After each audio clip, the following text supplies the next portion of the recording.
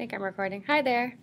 Um, for my friend Bob's birthday, it's in February. Every year I like to get him something stupid for his birthday. Um, and this year I saw something on SkyMall. And if you've ever wondered who buys things off of SkyMall, like maybe a, a video on how to train your cat to use the toilet or, you know, things like that, um, I'm that person. Um, so here I found something that I thought would be perfect for Bob's birthday, and I just wanted to share it with everyone because I think it's so funny. Anyway, are you ready? This is the Bob affirmation box. So it's just a little box. You're the best, Bob. Bob, you can do anything. Brains and brawn. Bob, you have it all. Bob, you rock. Everybody loves you, Bob. You sure are sexy, Bob.